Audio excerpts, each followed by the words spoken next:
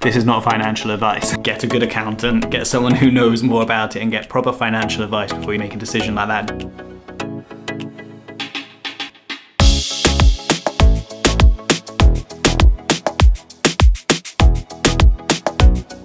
What's up guys? So today I need to sort out my income report for February. Exciting stuff. Oh, bash my elbow. That hurt. Right guys, so one of the best things I've done is be self-employed. And a lot of my friends ask me about it and like nervously. And I get that because it seems scary to be responsible purely for your income. But if you can get it to work, it is amazing. And on a separate note, I've been doing, I've been having lots of espressos recently. I used to hate coffee. Like when I was a kid, when I was a teenager, I didn't, didn't early 20s even, didn't like coffee. But you know what? Actually, these espresso things, this Nespresso machine to touch, uh, it's really good. It's a really good thing Dani got for me. I'm really happy about it, even though I wouldn't tell her. I wouldn't tell her too often because she'll get, get in her head. That's not good. So, being self employed, right, is a bit scary when you first do it. But, like I say, if you can get it to work and you can get some income and you're like confident that, and you kind of, you have a way of actually making money and you're not just being self employed for the sake of it, then it can be a great way of just managing your money and kind of I love it because I feel like I have much more control over my, my money. So for example, if I need to like increase my income, for me I'm just in my head I'm just like I need to get another client. If I get another client then I've got to get more money. Whereas if you just have like a normal job, uh, like you work for someone else, generally your salary is basically fixed or is hourly and so the only way you can increase your income is by doing more work or waiting for the opportunity to have like a raise. Neither of those are ideal choices to make. So being self-employed means you I actually have the option of increasing my income. Yeah, it's not guaranteed, but I also believe in what I do and how I can help people. And so I'm not really worried about like in my head, I'm just like I need to get a new client. It's that simple. I need a new client. I get a new client and I have more money and then boom, that's cool. And so I've applied that. I applied that when I first started working full time at the gym. I applied it when me and Dani moved into this flat. Yeah, and all through lockdown, even. And um, when when the gyms opened up again briefly, and when they then closed up again, like in my head, I'm just need I just, just need to get another client. to get one more client, and I'm cool. Or I'm, I'm expected to make this much. Like if I get one more client or two more clients, or if I sort out something like this, then uh, then I'm good. And having that flexibility is really really cool. But that that's not the that's not the bonus of being self-employed. Let me explain. What are you asking? If your bottle sounds like mine, No, it doesn't. It sounds different. like how?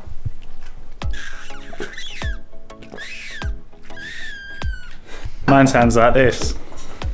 Mi amor, everything's on the down. I should have bought when you said. We had our 30% retrace. Has it come back up again? Yeah. Uh, it's like you don't trust me. But Rhys, but I was doing something else.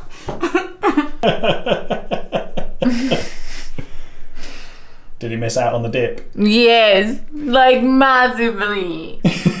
Wait, it wasn't that bad, was it? What's that, Bitcoin?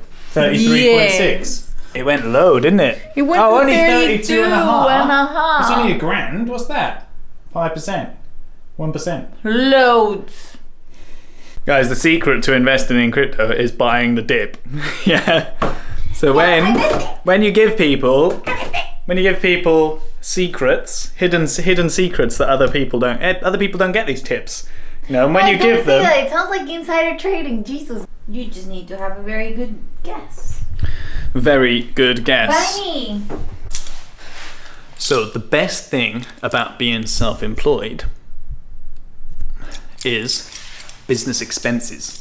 So, which got a nice little delivery. I'm gonna pop this open.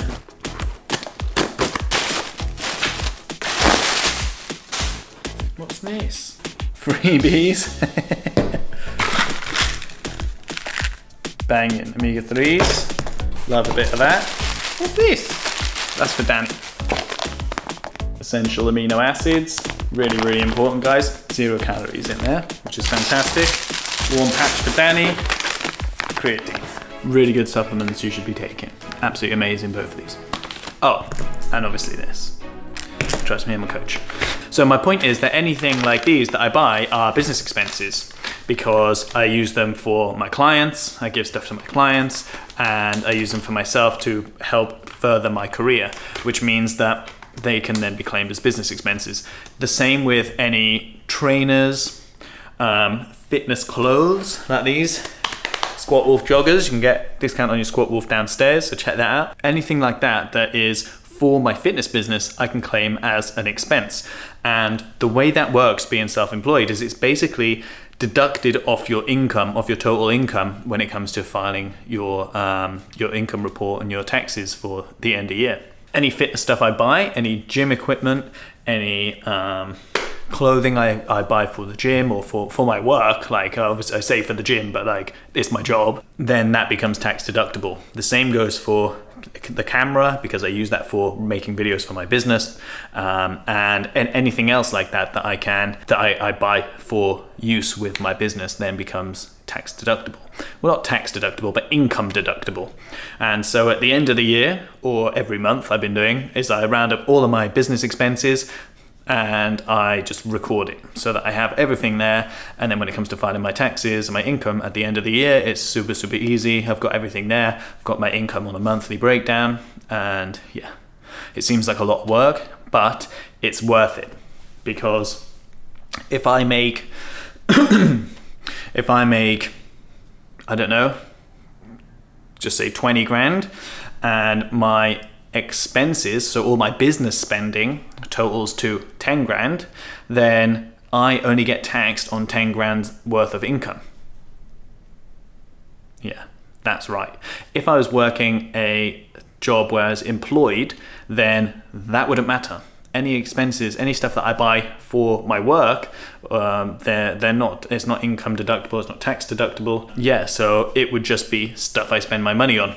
Now you wouldn't think like I'm still spending my money on these things. It's not like I'm getting them for free, but what it does mean is that I pay less tax. So these are basically tax write-offs. I don't pay tax on them, and they mean that I pay less tax um, because all of this money isn't money that I'm spending on myself. It's not money that I'm enjoying going on holiday or paying my rent or food or anything like that. It's money that I'm reinvesting back into my business, and so that is one of the best things. Well, that's the best thing, in my opinion, of being self employed, is being able to actually write off stuff that you buy for your work as a business expense and then pay less tax based on that.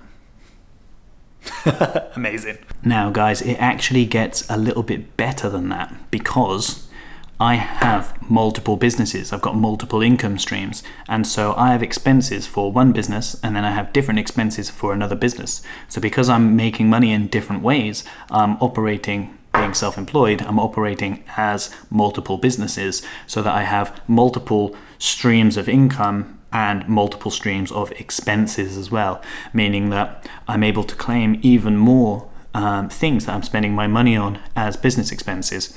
And this is the advantage of being your own business. Like, so instead of setting up your own company, the problem with setting up your own company is you have your company um, filed as uh, it's basically a company under one industry or under one or two industries. So there are only certain things that you can do um, with that business. So, for example, it might be a fitness or a gym, or it might be a consulting company.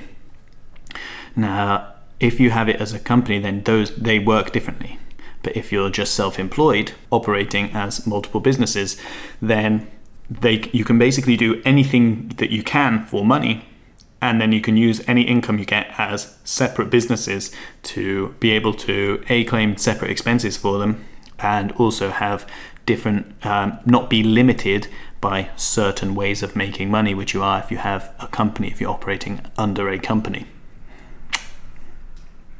I might have got that wrong. This is not financial advice, but this is my, this is my understanding of how these things work and how I operate based on that. self employment for the win. Let's smash this out.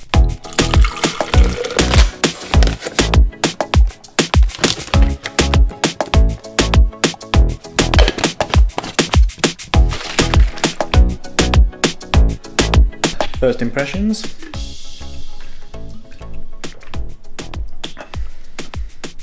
Bit bitter, but alright.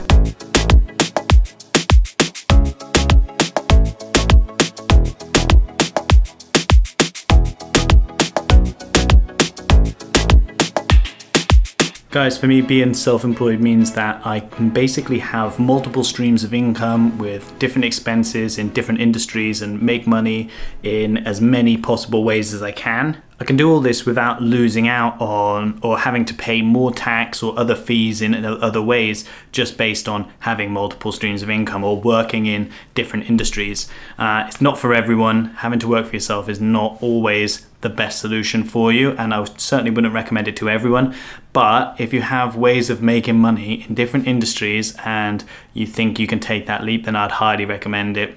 Uh, but get a good accountant, get someone who knows more about it, and get proper financial advice before you make a decision like that. Don't just go off what I've said, um, but that's my perspective on it, and that's why I choose to to operate in this way. Yeah, guys, that's it for uh, this episode. As always, just give us a like and subscribe for more, and I'll catch up with you in the next one.